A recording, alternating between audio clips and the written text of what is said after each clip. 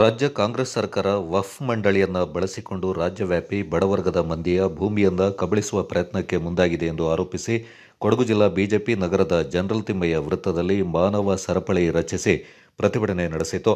ಸರ್ಕಾರದ ವಿರುದ್ಧ ಘೋಷಣೆಗಳನ್ನು ಕೂಗಿದ ಬಿಜೆಪಿ ಕಾರ್ಯಕರ್ತರು ವಕ್ಫ್ ನಿಯಮಗಳನ್ನು ಬದಲಿಸಬೇಕೆಂದು ಒತ್ತಾಯಿಸಿದರು.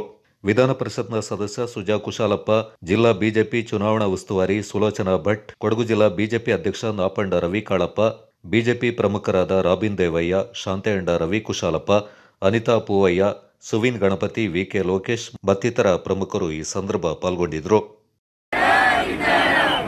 ಭೂಮಿ ನಿಂತಿರುವ ವಕ್ಫ್ ಬೋರ್ಡಿಗೆ ಬಡವರ ಭೂಮಿ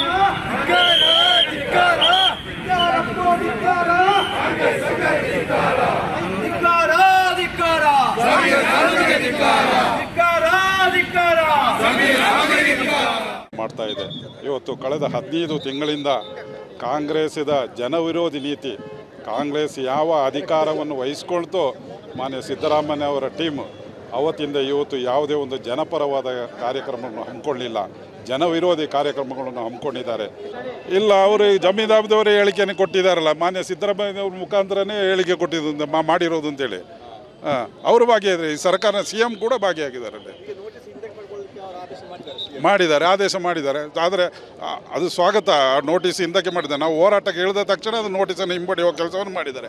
ಹಾಗೆ ಇವತ್ತು ಆ, ಏನು ಗಜೀಟಲ್ಲಿ ಎಪ್ಪತ್ನಾಲ್ಕು ಎಪ್ಪತ್ತಲ್ಲಿ ಗಜೀಟ್ ಬಂದಿದೆ, ಆ ಅಂತ ಆರ್ ಟಿ ಸಿಯನ್ನು ವಾಪಸ್ ತೆಗೆಯೋಕಂಟ ನಮ್ಮ ಹೋರಾಟ ಇದೆ.